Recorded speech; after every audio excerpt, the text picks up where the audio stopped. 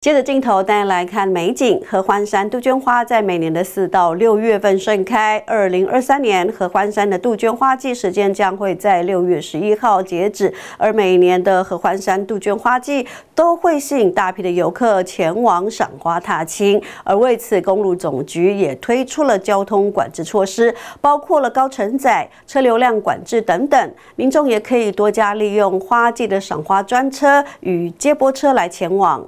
合欢山杜鹃花的花期为每年的四月至六月，然而今年因为气候的关系，杜鹃花开时间较晚，因此虽然是花季，不过实际盛开的时间或许会晚一些。而在花季期间，合欢山指定的路段将实施交通管制，相关单位也鼓励民众搭乘大众运输工具。那合欢山的杜鹃花是每年四月到六月是一个盛开的期间。那为应应这个合欢山的杜鹃花季，那公路总局就有做一个合欢山的花季的一个交管措施。那我们呼吁民众上山前要先去了解一下公路总局对于合欢山花季的一个管制措施。那另外，我们在呼吁民众在赏花期间，当然也。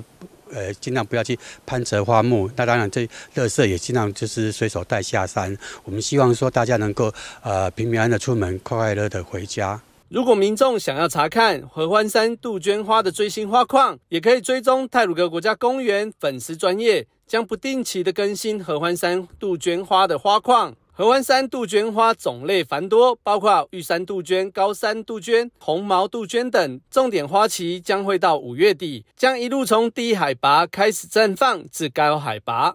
记者林杰、修林香采访报道。